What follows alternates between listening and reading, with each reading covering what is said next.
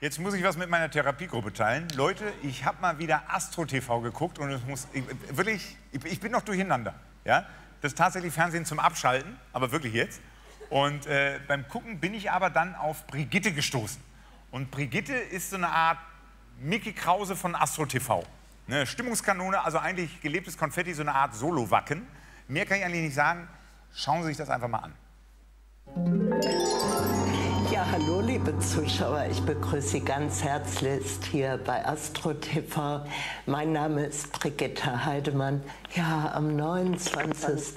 März habe ich Geburtstag. Es gibt viele berühmte Hellseher, die auch am 29. März Geburtstag hatten.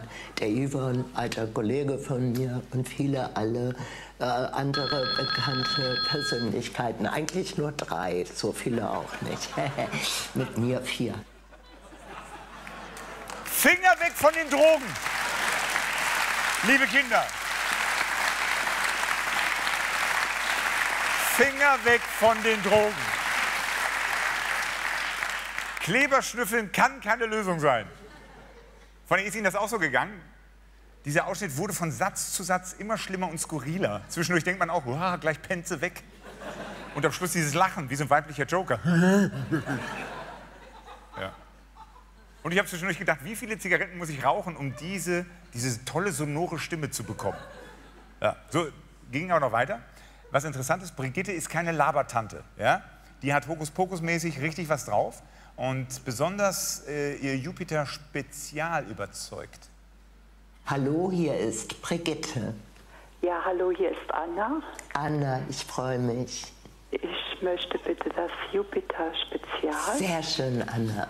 Der bleibt übrigens bis nächstes Jahr im März haben wir das Jupiter-Jahr. Und das ist toll. Ich optimiere jetzt die Jupiter-Energie für Anna und gebe ihr diese Energie weiter, die optimierte für die Fülle, für die Liebe, für die Fülle auch der materiellen Fülle. Alter, ey!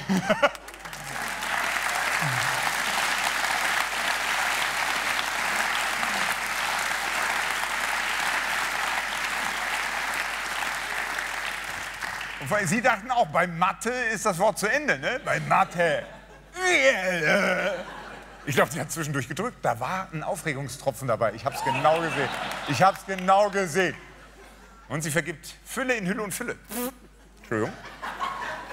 Und äh, das Jupiter-Spezial, nur damit Sie es wissen, das ist sowas wie die Junior-Tüte bei McDonalds, nur halt von Astro TV. Was aber viele nicht wissen, Astrid, also Astrid TV, das ist ihre Schwester. Nein. Astro TV, so heißt der Laden. Astro TV, das ist ein Knochenjob.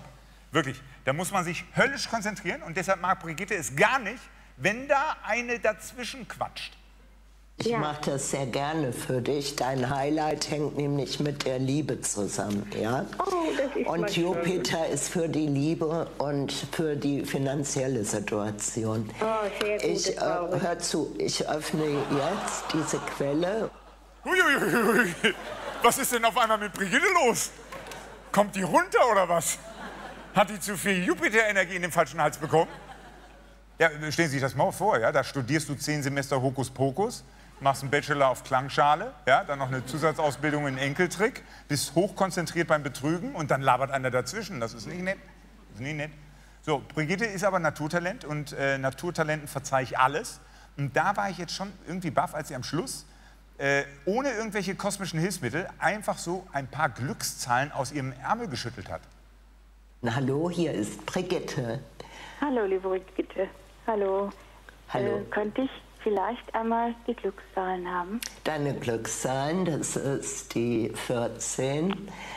Die, die 14, die 18, die 22, die 26, die 31 und die 37.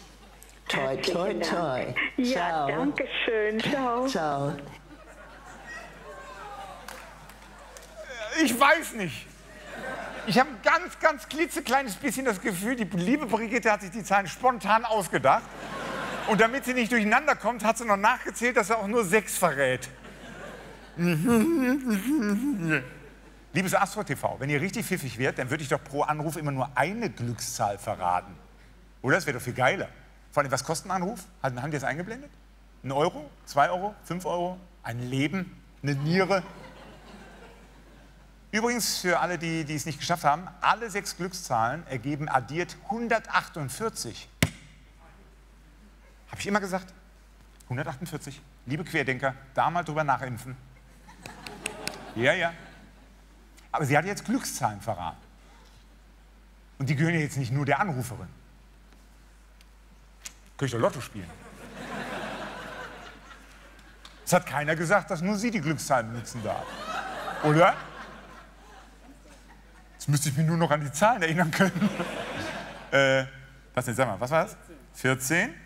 Wo ist die 14? 14, 8? 18. 18. Red lauter.